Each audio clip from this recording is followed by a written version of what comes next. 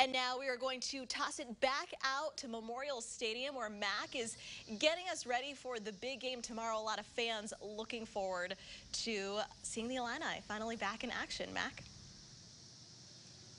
Jessica, thank you so much. We have the man, the myth, the legend, Brian Barnhart, voice of the Fighting Illini, with us today. We're actually talking about fans in the stands because you know what? The last season, he actually had to announce without any fans. Brian, thank you so much for joining us. Can you explain to us what that was like?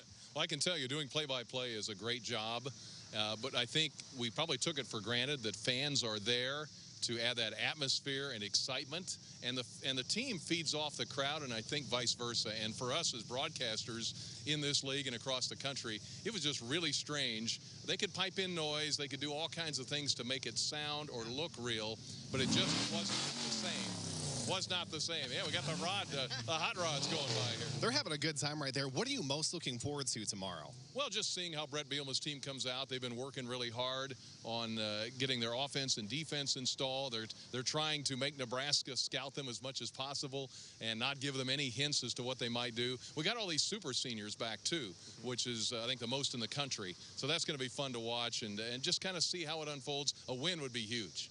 There's no secret out here. It is warm. A lot of people are probably going to be waiting until the fall time when it gets a little bit cooler. What would you say to people to get them out here tomorrow? Well, get your tickets and get them now is what I would say. Uh, I think this team is on the rise. Uh, I think it's going to be an exciting year. They've got a schedule early that is favorable for them to get off to a good start. So I would say don't mind the weather. Get out and support this team. Going to be a good time for tomorrow. Now, Jennifer has promised us expert baton twirling over here. I know that you're going to do a better job tossing over to her, so we're going to let you do that uh, over to Jennifer. All right, that's uh, it from here at near Grange Grove. Let's go across the way to Lot 31, and Jennifer Roscoe is going to teach us how to twirl, I think. Dream, dream fulfilled. Brian Barnhart just introduced me.